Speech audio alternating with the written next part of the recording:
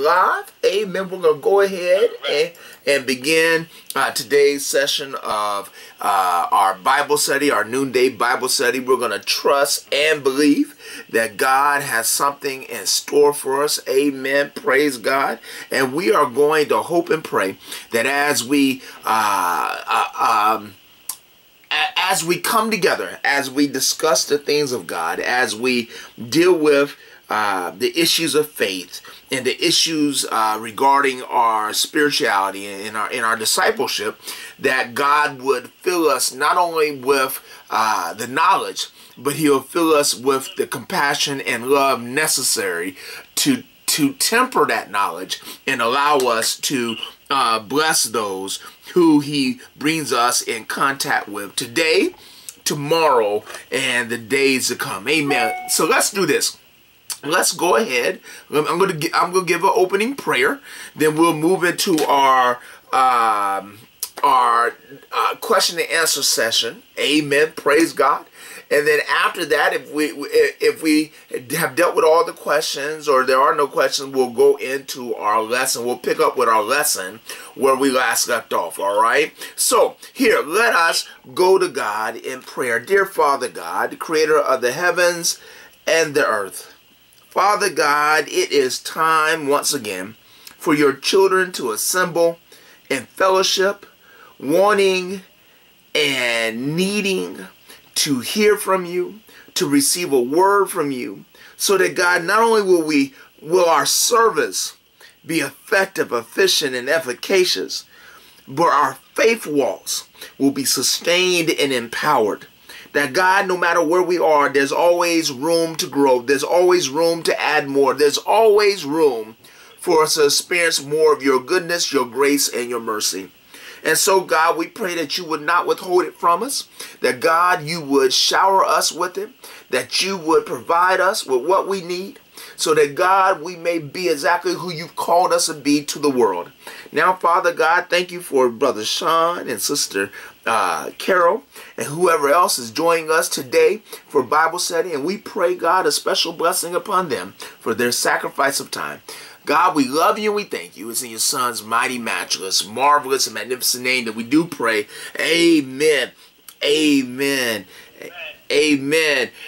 Uh, br Brother Sean, I understand that last week you had a, a service technician come to the house, so you had to go deal with the service technician. I wanted to give you a chance in case there were any questions that you had on your heart, your mind, and your spirit, but were, were unable to ask them because you had to go meet the service technician at the door.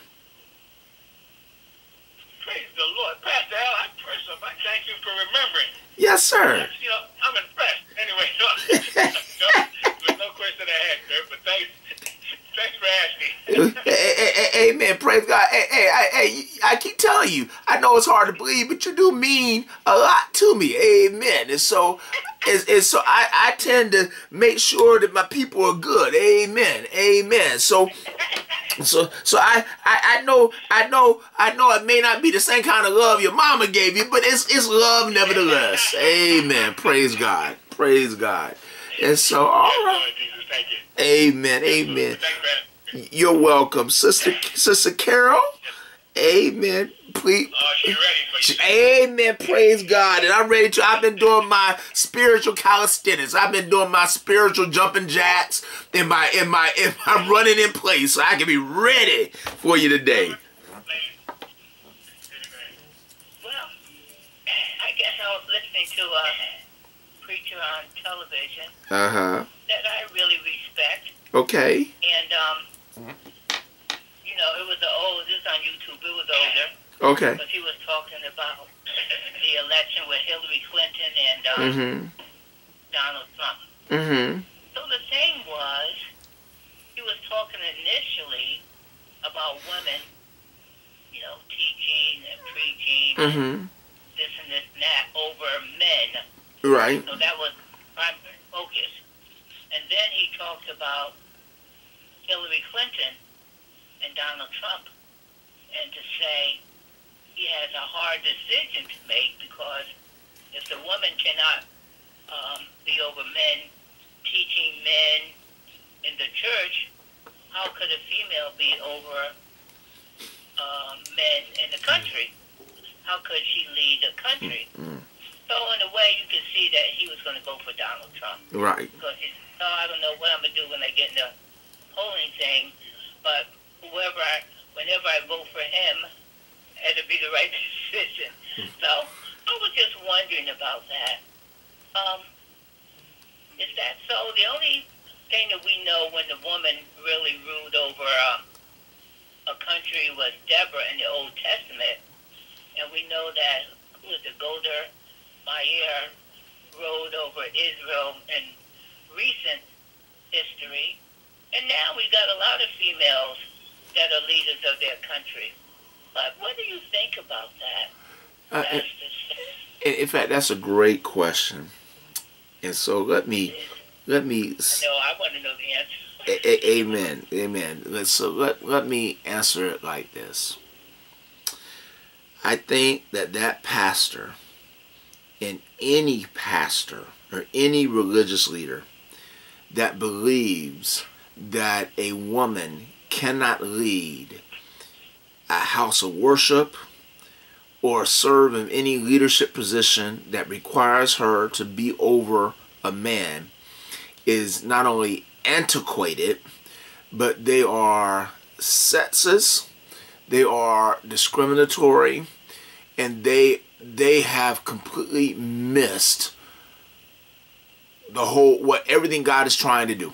They they've completely missed it, uh, uh, and um, it it personally offends me when I run into leaders, especially Christian leaders, ministers, that still hold on to this belief that women cannot serve as leaders over everyone. Not just not just women over women, women over men and children.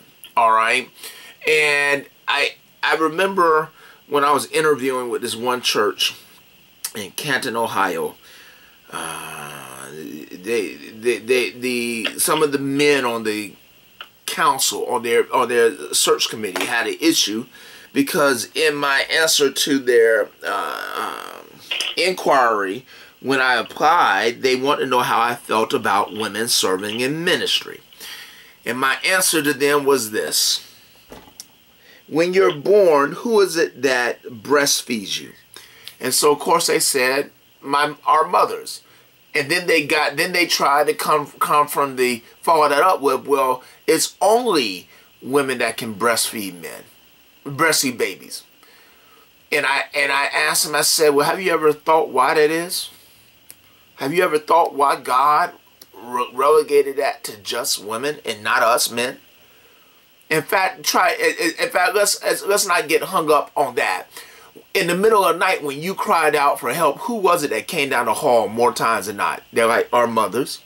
When you stumped your toe, who was it that put the band-aid on it? Mama.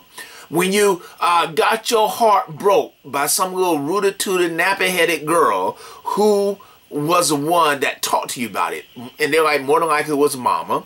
And, and I said, so in every stage of development, who can I said, who came down to school when you needed someone to advocate for you? They're like, mama, because daddy was at at work. I said, so in every pre- pretty much every aspect of uh, your life, formative years, you it was your mama that God called upon to lead you and bless you. They're like, yes, all right. So help me out. Uh, how many men in here went to school where every teacher that you had was a male, so no one raised a hand? I said, well, uh, what about every teacher? Eighty percent of the time was a male. No one raised a hand. Sixty, no one. When I said ten percent, they finally put up their hands. I said, so for 90% of the time, God has entrusted your training, your education to a woman. And they're like, yes. I said, when you go, I said, how many of us been in the hospital? We all raise hands. I said, how many male nurses have you run into? No one raised their hand. Okay. I said, how many uh, male doctors you raise your hand? So they raised. I said, well, how many of you also have female doctors? They kept their hands up. I said, was the treatment any different between uh, your your male doctor your female doctor? They're like, no. I said, oh, okay. all right. I, I said, well, I look around here in this room. Uh, I see that you've got women on your pastoral search committee. Or oh, do they have a vote? And so the women looked at the men and they're like, yeah, they got a vote. I said, does their vote weigh the same as yours? Yes, everyone gets one vote. Really? So isn't that essentially because, because I looked around the room, I said, there's more women on this committee than there are men. So isn't essentially allowing the women to have the same level power of vote that you have, essentially putting them as female leaders over men that they could choose the leader that they really want to choose? And it doesn't have to be a man. And they all looked at each other like, oh my God, I did not think of that. I said, so here's the thing. Here's, I, and, and so one, one of the guys on guys. He said, "All right, Pastor, what what what's the point you're making?" I said, "The point I'm making is is how asinine you look and sound right now, trying to push forward this idea that women cannot serve in leadership positions in the church or, or overall." I I told them I said the problem is like always, we quote scripture without understanding it. When Paul says, I do not allow a woman to uh, lead over a man, he was saying that in a within a context, a societal context. Christianity was considered the pagan religion at the time. It was the one that was heretical. The whole idea that people worship one God and one God alone, that enough was to make people look at Christian Christianity suspicious. Then they didn't understand this whole thing about Holy Communion because they're like, what kind of religion is this that people eat the body of their God and drink their drink his blood? That's not a religion, that's a cult. And so what happened, Christians were being persecuted because of the ignorance of, of main, mainstream Romans and the Roman Empire. And so what Paul was constantly doing, he was constantly instructing these Christians in these small house churches to not do anything that caused them to come under undue scrutiny. All right? No other religion at the time allowed women to lead. So guess what Paul does? Being a, an apologist. Paul says, I'm not going to allow it either because if it, if it, if it occurs that uh, persons, if it occurs to persons that the that we Christians are being led by women, then in the Roman Empire, then that's going to bring undue attention. We'll be arrested. We'll be persecuted. Now, here's a funny thing two chapters later from when he says that in Romans, all right, he turns around and acknowledges a set of female apostles. These ain't female ministers, female deacons, female trustees. These are female apostles. These are women that have been elevated to the level of apostle since the institution of the church. And he acknowledges that they are co-laborers with him. Okay? Here's another thing. He also turns around and acknowledges that much of his ability to engage in ministry is a result of the assistance of women, not men. Not men. When you look back at Jesus's ministry, nine times out of ten, it is not them 12 rusty dusty knuckleheads that Jesus that Jesus could rely on. It was women. Shoot, when it came time to, to prepare his body for burial, the men were too scared to even come out the house.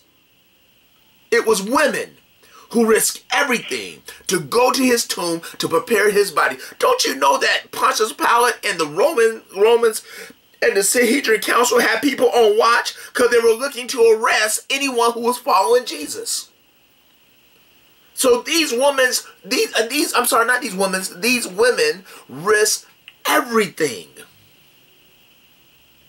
to uh to go bury to go perform what society required, what Israelite society required. And here's the thing God decided to make the very first Christian minister be what? A woman. Mary Magdalene is, is the first Christian minister.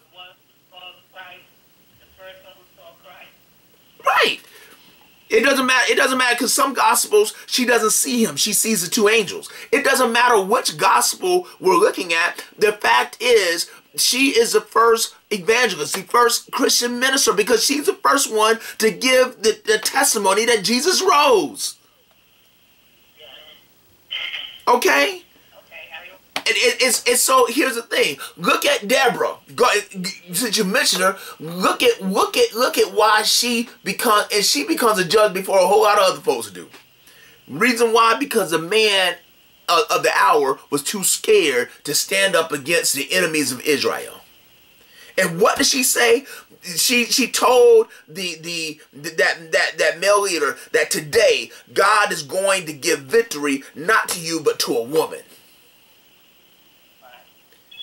When God when God announces his intention to change how uh, he was issuing salvation to humanity, he didn't announce it to Joseph. He went to Mary. He went to the woman first. When when, when here, here, here here's here's the thing. Uh you don't think Zachariah wanted a child as much as Elizabeth did, did you? You didn't think that uh uh, uh what's his name? Uh uh Elkanah wanted a child as much as Hannah did. God spoke to the wives first, to the women first, not to the husbands. In fact, the husbands didn't even have a clue what was going on. And, and here's the funny thing: in Zachariah's case, when he finally, when he finally was told of all by all of all angels, the angel of death, and I keep getting trying to get people to understand how significant this is. The one who was whose sole responsibility was simply to implement death is the one that announces life. And what does Zechariah do? He, he, yeah, the, Gabriel is an angel of death. That's his, that his job is is to go around implementing death. That that's the angel that God sent whenever he wanted to, to destroy and kill people. Gabriel.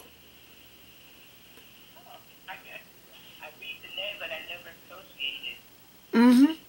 Mm-hmm. Mm-hmm. But yet, when it's come to make the announcement that, that God was extending life, he sent Gabriel. And Zechariah laughed. And what was the punishment? He couldn't speak until uh, John was born. He, he, here's the thing. Uh, remember the woman at the well? Uh, had the five husbands and the sixth man she was sleeping with wasn't her husband. Christian evangelist.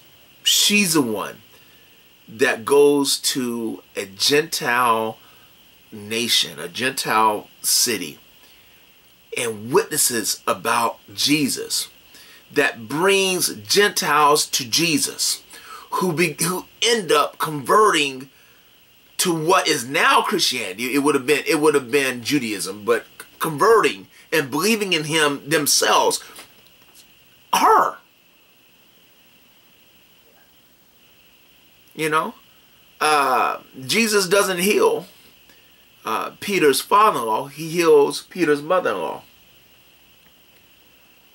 Again, the, the, the this whole idea that women are somehow not allowed or permitted, that is a an antiquated and out of custom, out of time uh, uh, um, concession that just like the scripture was used to justify slavery, this has been used to keep women from out of ministry. And let me go ahead and say this because I know that I know of a whole denomination right now. Amen. In fact, they all do. So let me not just make it one. Uh, because guess what? I come from a Baptist denomination, and, and right here in this state, right here, if you go anywhere east of Union County, uh, you're going to have a fight to ordain a woman into ministry or to, or to hire a, woman, a female pastor. You just are. And so I was getting ready to mention uh, my COGIC brothers, brothers, sisters, brothers, uh, but they ain't the only one. They are not the only one. uh, there are many churches and denominations that, that, that frown upon women serving in leadership. And I think that's antiqu- antiquated. And I think that is actually not love, that's hate. And the very persons that subscribe to this belief are going to find themselves sitting on the outside of the gates of heaven. And they're going to be like, Lord, Lord, why didn't why, why didn't you let me in? He's going to look at them and say, get away from me. I never knew you.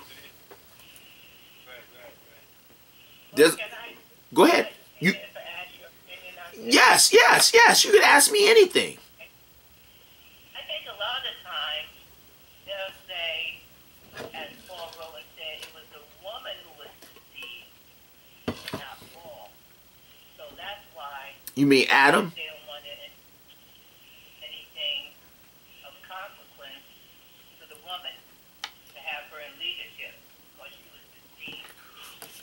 That's and, and, and, and Sister Carol, let me let me say. So let me repeat that because you you kind of faded out a little bit. Sister Carol said this for people online and for people online on Facebook and watching this YouTube. She said she's heard that a lot of people have said that one of the reasons why women should not be allowed in leadership is because when we go back to Genesis, it's the woman that was deceived, not the man. Uh, let, let me go ahead and destroy that argument because I know it's not your argument. You're just merely saying it, all right? That's a bunch of horse malarkey, okay? That's a bunch of horse boo-boo, okay? Because if we read the scripture, in fact, we walk through this. We walk through it. Adam is sitting right there beside Eve when the snake, when the serpent started talking. At no time did Mr. Man, Mr. Righteous, Mr. Leader step up and be a leader and say, you know what, nah, baby, hold up. Our God told us not to eat from this tree. It doesn't matter how curious we are. It doesn't matter what it may do or what it may not do. It doesn't matter how it may protect us or not protect us. The, the, the bottom line is we were given an instruction and it's our duty to follow it. He said nothing. He sat there. Listen to what the what the serpent said. Watch him give the serpent give Eve the uh, the piece of fruit and watch her eat it and did not say anything. You want to know why? Because he wanted to eat it too. And that is that is scapegoating. That is scapegoating her. Because the truth is, he had every, even if she was deceived, and she wasn't, or, or she wasn't deceived alone, even if she was, he had every right, all the power, every chance to stop it. He said nothing because the word says she bit in it and then she turned and gave him a bite, which means he's sitting right beside her. That is scapegoating. That's the same thing that white people have used for years to try to justify slavery by saying that we are the descendants of Ham and, and Noah cursed us to be slaves because uh, of what happens in Genesis. Wait a second. Wait a second. It is believed that that occurred before the flood. No, no, no. I'm sorry. It occurred. it occurs after the flood. It occurs after the flood. I'm sorry. It occurs after the flood. Okay. But wait a second. God doesn't condemn a race of people. He condemns the descendants of Ham. Not every one of us, and here's the thing, Ham wasn't the only brown one in Noah's family. They all were brown. So let's let's stop that foolishness. As if Ham is the only like like you know how you have a dog that has puppies and one dog is comes out with black fur and all the other ones have white fur. Let's stop acting like that is how it happens with with human beings. All right. It happens with dogs like that because there are multiple eggs being uh, in, in, in, uh, fertilized when a dog mate, when two dogs mate. And if you have a dog that has not had a pure line of white coat furs, it's possible that you're going to birth a dog, a puppy with a different color fur. Okay, but that's not what happens with with, with human beings. Okay, if, if you know, it, it, I, I, in fact, like, like I told, not like I told, like, like, like the comedian Katt Williams said about uh, Michael Jackson's children. He said, "When's the last time you seen a white person and a black person have sex and their children come out with blonde hair, blue eyes, and no indication of ethnicity at all. It doesn't happen. That's because being black is to have a dominant gene. To be white is to have a recessive gene. The dominant gene always overpowers the recessive gene. So don't sit here and try to make the argument that Noah had a bunch of white babies or non-black babies and had one, him. They all were black or all dark-skinned.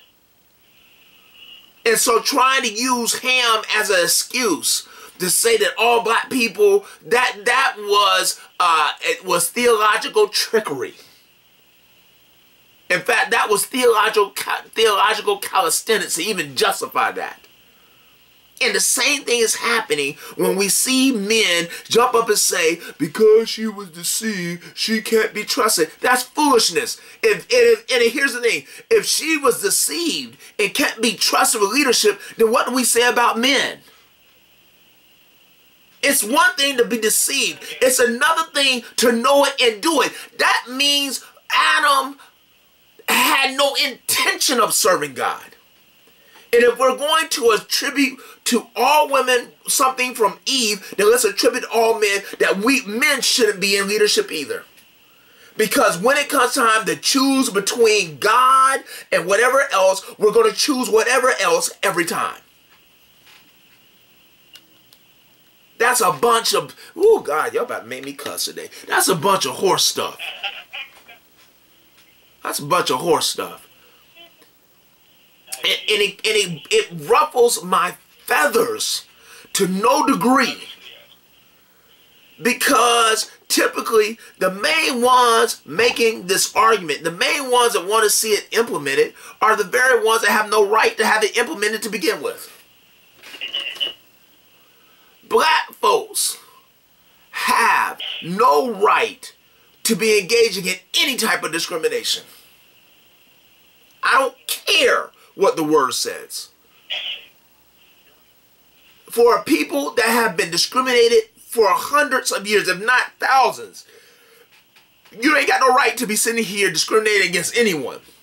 Whether they're gay, whether they're women, what no no, you don't have not nary a right. Nary a right. Because the truth is, current events are showing us we are still fighting discrimination. And how are we going to ever expect God to bless us in terms of the discrimination we encounter if we are so busy discriminating against others? The devil is a liar. And there ain't no truth in him. No. So no, that that's foolishness. And I have no problem saying it to anyone. This is probably why a lot of preachers don't want to fool with me. Because, again, I'm not going to... I, I don't believe in sitting here. I, I, don't believe in sitting quiet in the in the midst of a bunch of foolishness. Yeah. You, you know, I, I remember I, I, I knew I lost at one church because in the middle of their interviewing me, they said, it's your anniversary you and your wife go out to celebrate anniversary and they bring you a, a bottle of wine, are you going to drink it? I was like, yes, it's my anniversary. And so they started going on with, you know, you know. I said, show me in the scripture where it says, do not drink alcohol. And of course, I knew where they were going. They were going right there to where Paul says, do not drink anything in excess. And I had to show that. I said, that doesn't say do not drink alcohol. That says do not do anything in excess. In other words, do not get drunk. Drunkenness is drinking to excess. Just like uh, uh, eating and eating and eating till you become overweight, that's eating to excess. You can even exercise to excess. It is about doing any everything in moderation, not a prohibition against drinking. Why would he? Why would Paul issue that? There was only three drinks for them to drink at the time. What four? Water, milk, juice, wine. And let's be for real. Most of the time, they could not preserve the fruit, the fruit juice too often, and the fruit juice became what? Wine. So why would Paul remotely tell people not to drink one of the few drinks that they had to drink around there? What he's saying is don't get drunk because in your drunkenness, you engage in behaviors that, that brings uh, condemnation upon you. It damages and destroys your witness. He doesn't say, he, he never said don't drink. I mean, in fact, Jesus even says that to the Sadducees and the Pharisees. He says, I think you think I'm a drunk because I'm sitting around with other drunk drunkards drinking wine with them. And guess what he says? It's not the righteous that need a doctor, but the sick. I didn't come to save the righteous. I came to save the sinner. So all these arguments designed to keep women out of leadership positions are merely self-righteousness rearing its ugly head trying to oppose its righteousness over and above that of God's righteousness. And it's important that you, me, and whoever else stop that foolishness from continuing to happen. Time out with with with with remaining silent. It's time to speak up. You know better. It's time to speak up and say, "No, nah, that's not how what God is is aiming for. That's not what God is shooting for. That's not the word of God." And guess what? You don't have to be a theologian. You ain't got to be a pastor. You ain't got to be a seminary professor to do it. Just who you are in your own stand is enough to say that's not right. That's not how how how, how what God is, is shooting for or aiming for. That's not right at all. And we have to be bold enough to say it. Yeah, it's going to mean some people don't want to be around you. But guess what? They didn't want to be around you to begin with. They only, they, they only quote unquote tolerated you because there was something your presence gave them. And even if you didn't give them something tangible, your presence gave them something because they used your presence as complicit agreement with whatever they were saying. So guess what? Sometimes it's not simply saying what needs to be said. Sometimes getting up and leaving. It's walking out. It's not letting someone use your present as complicit agreement with whatever foolishness they're saying. It's going on here. Again, the word says try the spirit by the spirit. Study to show yourself approved, not of man, but of God. And by studying show yourself approved, willingness to stand the word. One of the things that made Jesus such a danger is his willingness to point out when the other spiritual leaders or religious leaders had gotten God's word wrong. In fact, remember what the whole thing where Jesus says, talks about when you tell your parents that whatever help you gave them is, I forgot what her term was, but basically that evens it up, that you don't, you have no more obligation to them. He says you're perverting the word. He said the the word is honor your mother and your father so that your day your days upon the earth will be long. That's that's the word. This whole thing coming up with whatever help I've given you evens it up. He said he said that that's you making up stuff. That ain't the word of God.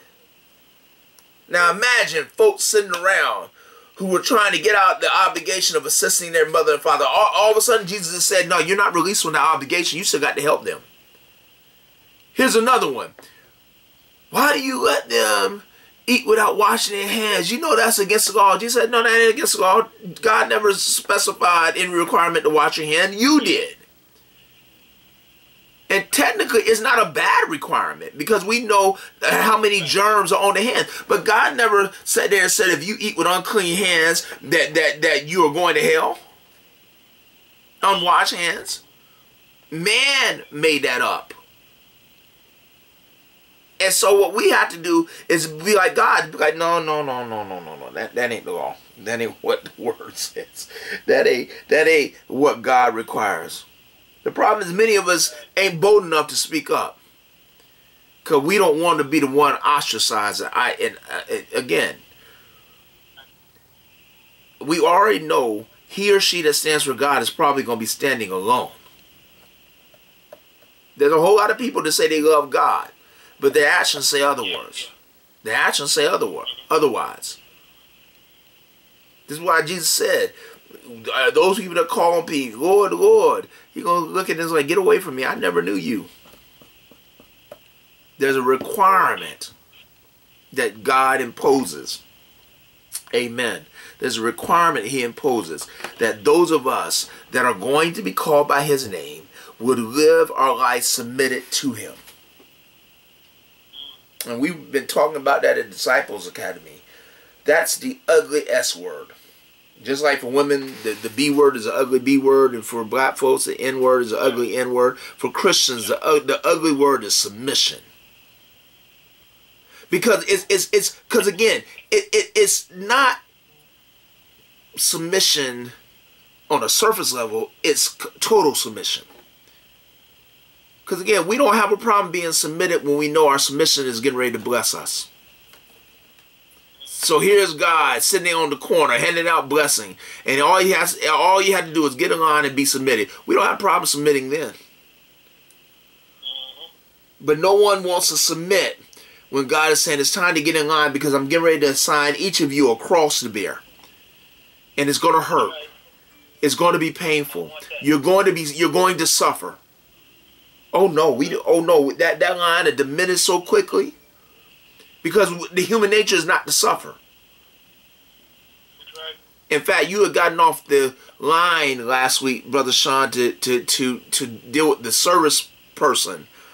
But one of the things I shared with Sister Carol because I wanted to encourage her, but I also wanted other people that were watching or will watch to understand that the difficulties, the trials and tribulations we experience are not because God wants us to suffer, per se. They're not because God is punishing us. It's because God has decided He can trust us with the weight of this issue that they, that there are times, yes, we acknowledge there are times when your bride wishes that she didn't have to carry the cross that she's carrying right now.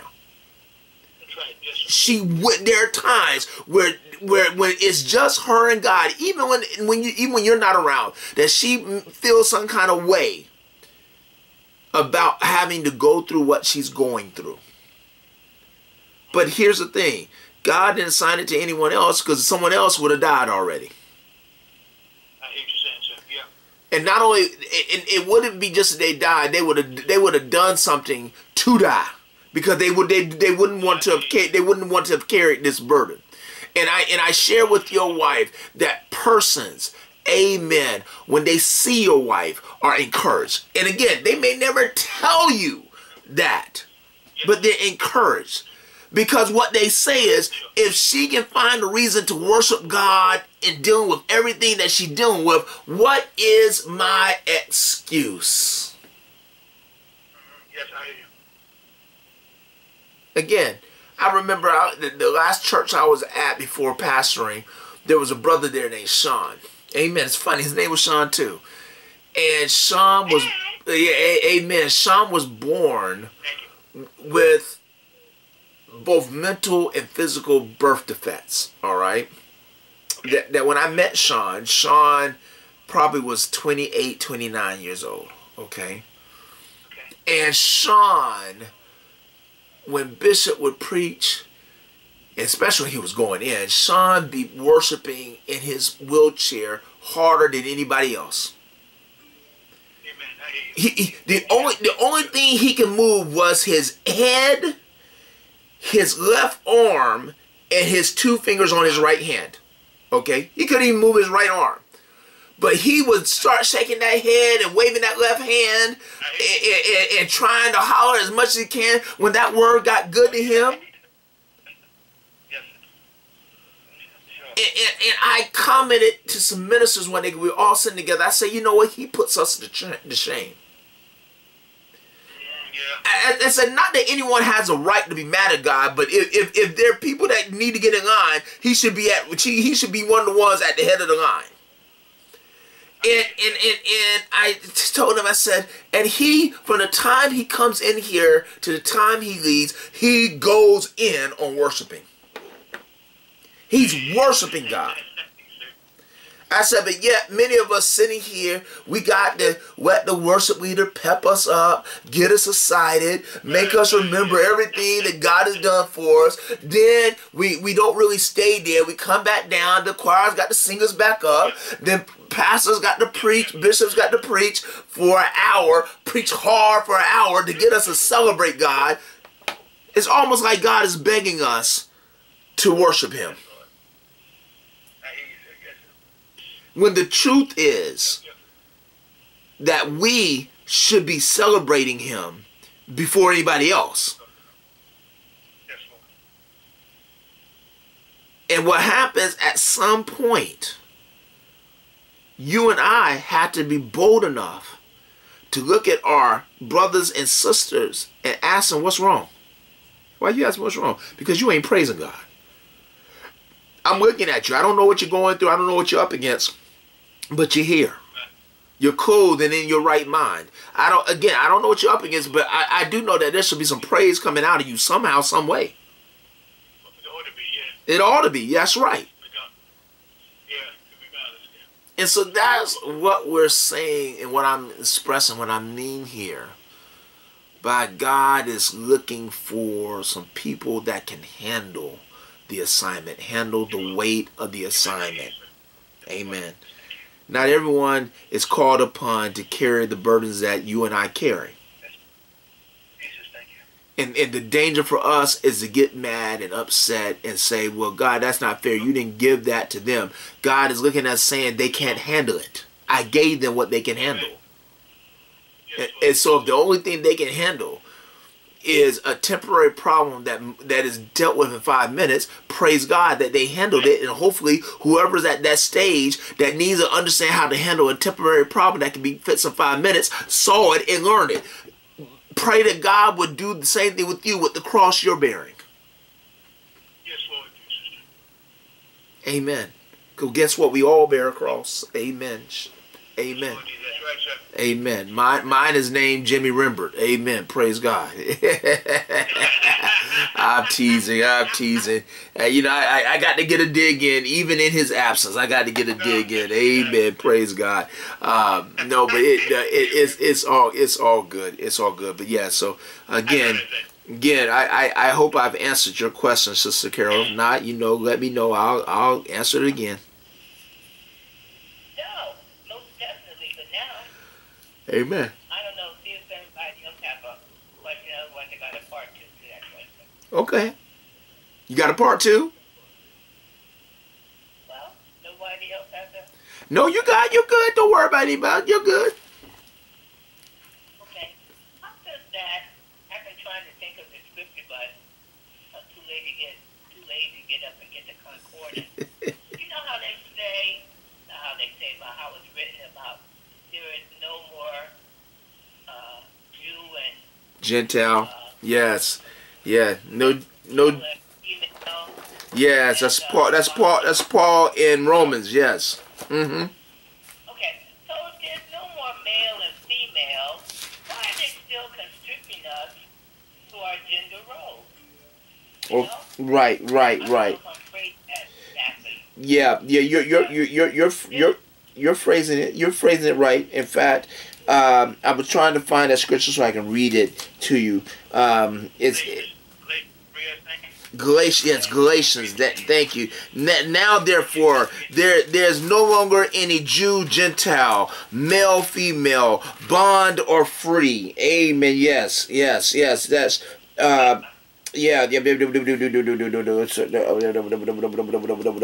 it is. All right. Amen. Uh, let, let, let's look at uh, it's Galatians chapter three, verses twenty three to through the end of the chapter, and then we'll come back to you, Carol. 'cause I just want people to understand what you're talking about. The word says, "Now before faith came, we were imprisoned and guarded under the law until faith would be revealed. Therefore, the law was our disciplinarian until Christ came, so that we might be justified by faith." But now that faith has come, we are no longer subject to a disciplinarian, for in Christ Jesus you are all children of God through faith. Many of you, as many of you as were baptized into Christ, have clothed yourself with Christ. There is no longer Jew or Greek. There is no longer slave or free. There's no longer male or female, for all of you are one in Christ Jesus. As if you belong to Christ, and if you belong to Christ, then you are Abraham's offspring, heirs according to the promise. Now go ahead, Sister Carol, ask a question right quick. I, I, I mean, rephrase your, tell me your question again so that I can answer it right quick. Okay, it says there that there's no more Jew or Greek, Mhm. male or female, bond or Or free. Uh huh. So the male to female, why are we still constricted to these genders that we're in? Is this for when we get to heaven? No, th- th- th- this this is right now. As a female, we can't do this or do that or whatever. No, no. What Paul is doing here, Paul is arguing and stressing that within the body of Christ, those labels that keep us separated and keep us uh, divided in the world are not applicable in the side the church in the body of Christ. All right, uh, you, I can't change being a man, uh, and you can't change being a woman. All right, you know I, I'm a male. You're you're a female. It is what it is, and he's not advocating that in all things we uh, uh, not distinguish, recognize the differences between the two. I mean, for, for example, in medicine, there's some issues in er, issues in medicine that are applicable to you that are not applicable to me, and vice versa. They're applicable to me and not applicable to you. Cause guess what? You you you you don't have a prostate, so I should never hear about you catching uh, developing prostate cancer. I do. Right, right. You know what I'm saying? Uh, you, on the other hand, there's certain things that you deal with that I would never deal with. I you should never hear me saying I have fib, fib, fib, fibrosis cyst or whatever however they name on, on, on, my, on my uterine wall. You should never hear me say that Right. because I don't have a uterus. You know what I'm saying? Uh, uh, uh, it, it's, it's so there there are times when we need to distinguish between men and women. However, what he's saying is that when we come into this church to worship the God that we worship, it doesn't matter if you're a woman and I'm a man. We are all children of God. We're all one in God. We're all the same. We're all His people. It doesn't matter if because you got to understand at the time slave owners were bringing their slaves with them to church. And so Paul is saying, when you walk through the door, I don't care what the law says out in the world, you're no longer his slave. You are you are a slave to Christ. You are you are his people. It doesn't matter if you were born a Jew or born a Greek. It doesn't matter what your ethnicity is. It's what is what your faith is, what you believe. And so Paul is pushing this whole understanding that your your people uh, uh, that you worship with, that the distinction that the world looks at them and God judges them by, are not applicable to uh, what how He judges us. Not applicable. Not remotely applicable. And so what that means, we got to stop bringing into the church the dis- labels and distinctions of the world.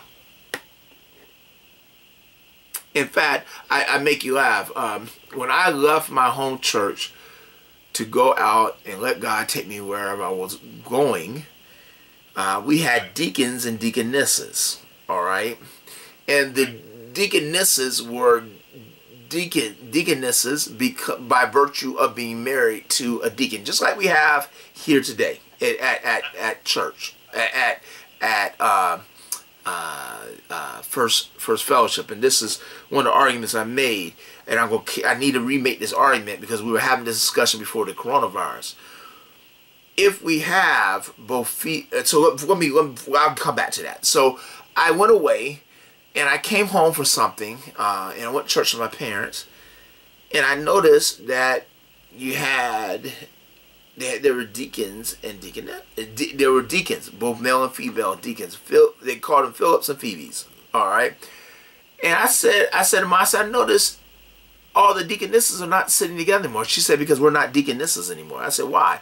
Because Pastor Jones has changed that to the fact that since men, both men and women can serve as deacons, there's no need to distinguish between the two. They're all deacons. And so he had brought in a class that had women in there. And I was very impressed with that. All right. Um, so in the conversation at our own church, my, my question was, why do we still use deaconesses when we have female deacons? I mean, technically, the, the, the appropriate term for a female deacon is a deaconess. All right, if we're going to recognize again these labels, but why are we have and, and, then have deaconesses? We have female deacons. We don't really need deaconesses anymore because we have the female deacons. Um, and so I I I say that to say that God is stressing, especially through Paul, but God is stressing for us this whole idea that when we come into the house of the Lord, when we worship as the body of Christ, we worship as one people, not as a group of men and a group of women, or a group of Americans, a group of group of something else. Uh, we, we, we worship um, uh, as as uh, as as one group of people. Um, amen. In fact, uh, uh, one of my colleagues just called and it disconnected the, the phone. Can y'all still hear me over there? Uh, yeah, we can hear you. Yes. Okay, praise God. Okay, praise God. Oh, all right, there you go. Okay, good deal. Whew, Lord, uh, I, I got a call and it, it, it disconnected part of the phone. So, all right, we got it back all connected. Amen. So, I, that that's a much shorter answer than the other questions to the to that question you asked. There, there, we're bringing in distinctions in the world that God has commanded us to no longer bring in. And what we have to do is stop allowing those distinctions to come in and to separate us. Because that's all they're doing. That's all they're doing. They're separating us. And the only one, the only one that has the right to do any separation is Jesus. And the only separation he's going to do is to separate the sheep from the goats. That's it. That's the only separation. The good from the evil. The, the, the, the wheat from the tare. In other words, these, these symbolisms of good, those good faithful servants versus those wicked evils, uh, wicked evil people. So, that that's the only separation that that is in the word. Amen. Shabbat Abadum. Amen. Praise God. Are there any other questions I can answer? Carol, if you got some more, ask them. Don't sit on them.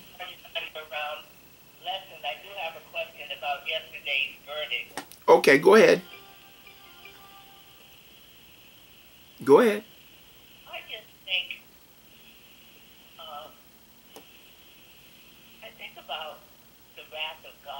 Uh huh. I was going to ask you about that today. But anyway, I just think that what that Nova guy did was so egregious before the whole world. Uh huh.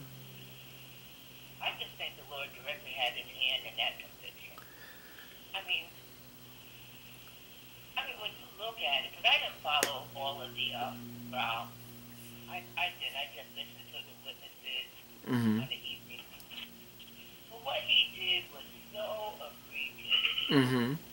I think his board was um, disturbed by that. I guess it was caught, and I know that they've done that to uh, black men and women. Mm-hmm. All of that just with no video. Mm-hmm. Mm-hmm. This was up video, and it was so bad. Right. But do you think the Lord had made so in that? I mean, I I, th- I think the. Think the Lord had his hand over that and in the cases where the not guilties came down. I, I don't think he had his hand on one and not the other. And I think, Hey, wait, I don't understand. Say that again. okay, amen. That's why I say it again. S- Sister Carol asked, "Did do I think that the Lord's hand was in yesterday's verdict uh, in the Derek Chauvin trial?" Yes, I think his hand was in yesterday's verdict. I also think it was in uh, those case, like like the Breonna Taylor case, who came out a not guilty. I think his hand was there too. And let me tell you why I think his hand was there too. I think what he was trying to do was to make it obvious of the uh, make a make it obvious of the discrimination, the hatred, the malice, and the intention ten- intentionality of how we mistreat one another. I do not think it- it's accident that even though the attorney general in Kentucky looked on the outside like you and I look, but on the inside agreed more with Mitch McConnell and white police officers than he did with us. In fact, the Breonna Taylor case didn't even go to a jury. He didn't. He didn't think there was enough uh, evidence to, to, to charge charge the the, the, the officer. So he, I'm sorry, I misspoke. He didn't. They, they didn't even go to jury.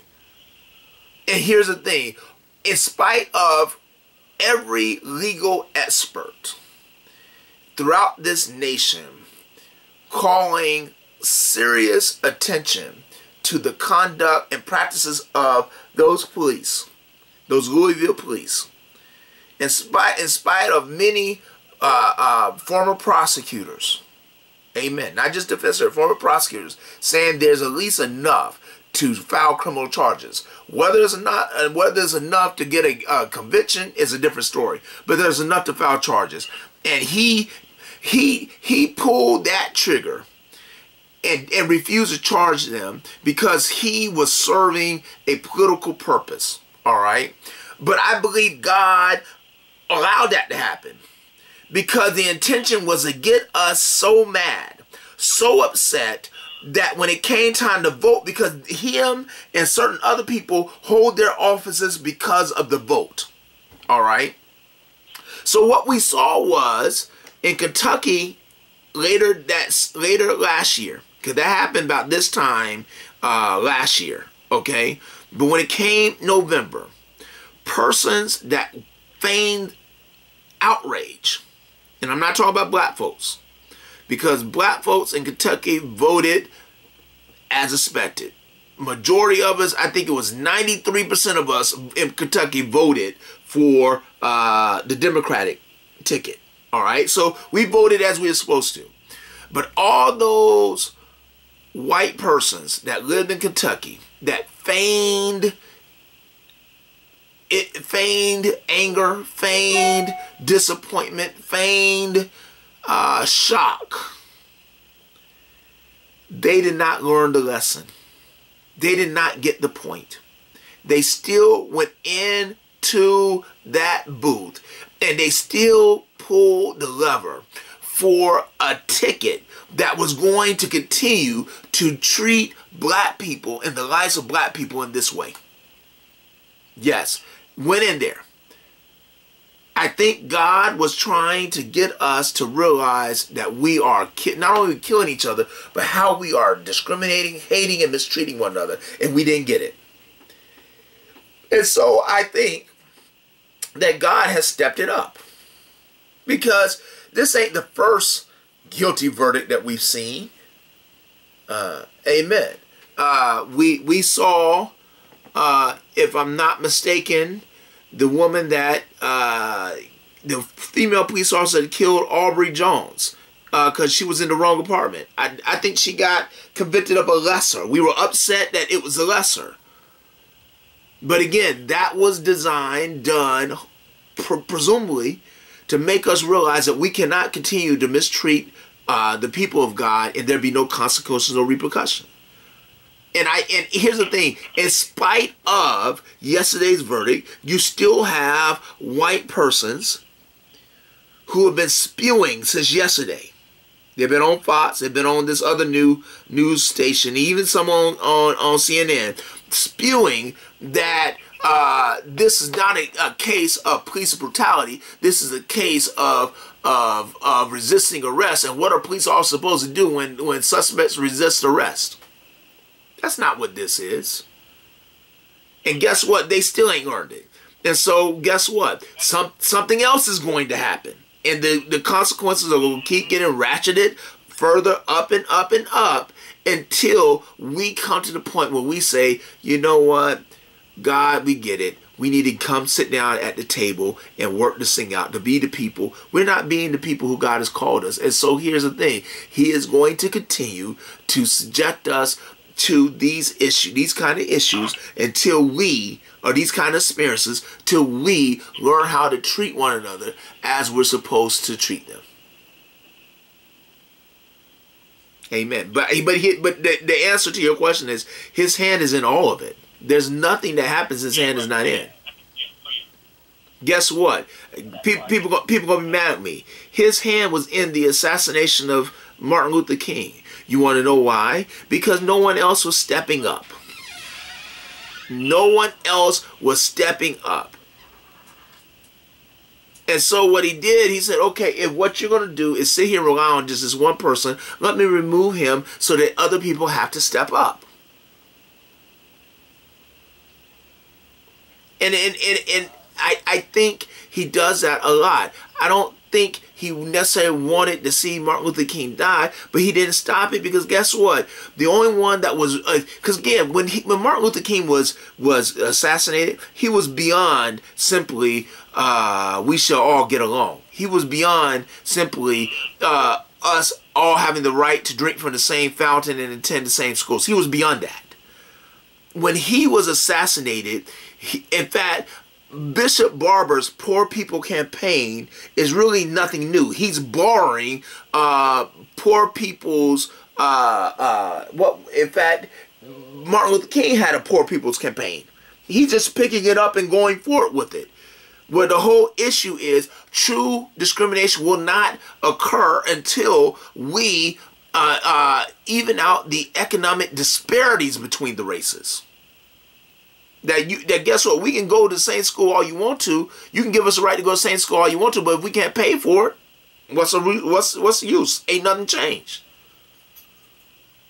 And so no no one at when when king was assassinated he was on the outs with, with a lot of black leaders. Because they were unwilling to go that far because they were so afraid that if they push against the economics companies that employed their parishioners would lay them off. And if they got laid off, then these folks could not pay tithes. And if they could not pay tithes, these leaders could not drive the Cadillacs that they were driving at the time. The Cadillacs and Buicks. Because those were the, the, the, and Lincolns, those were the luxury cars of the time.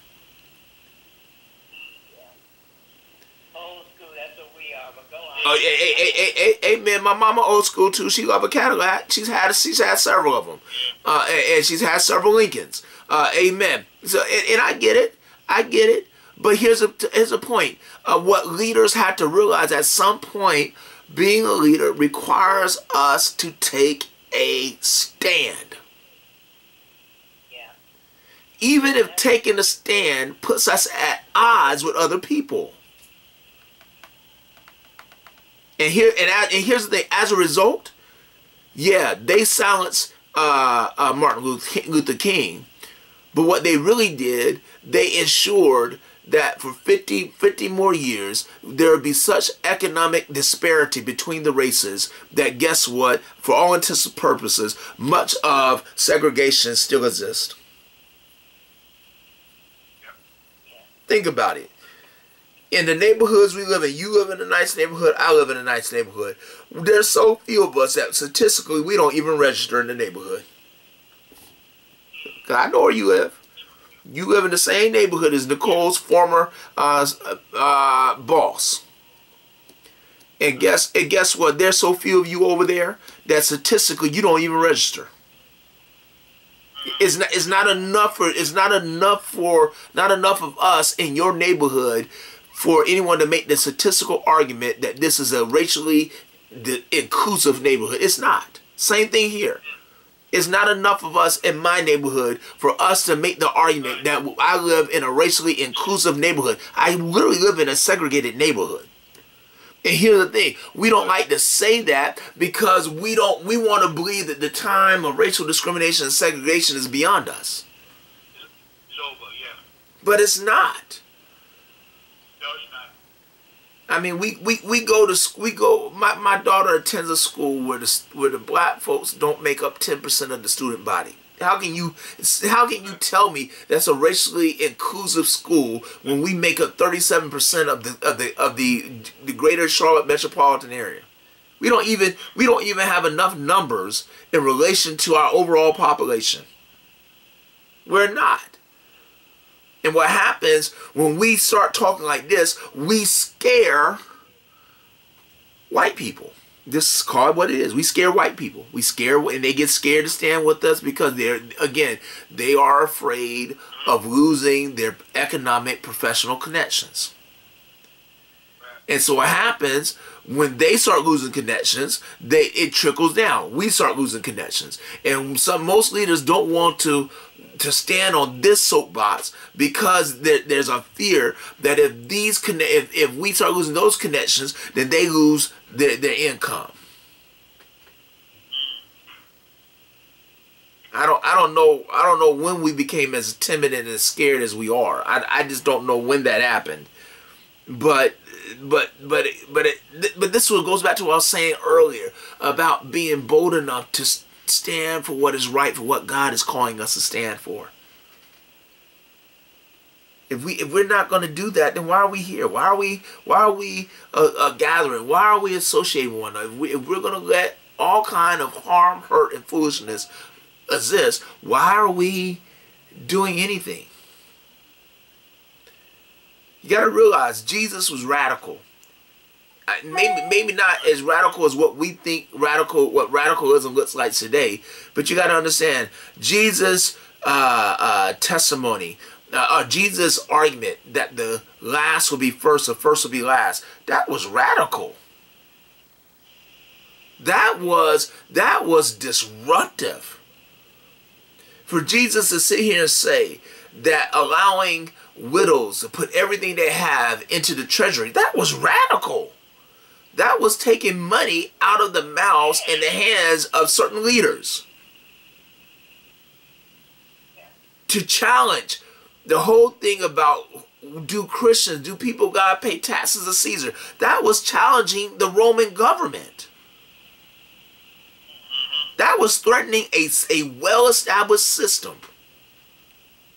And what we don't realize, what we don't spend any time considering, is that uh, uh, uh, many times, quite often, uh, uh, Jesus' ministry was more radical, more in your face than people realize. And I think that if he was here now, he wouldn't recognize many of our churches. He would he would say, "You're not you're not a not a church of worshiping God," because many of our churches are too busy helping people get along to go along.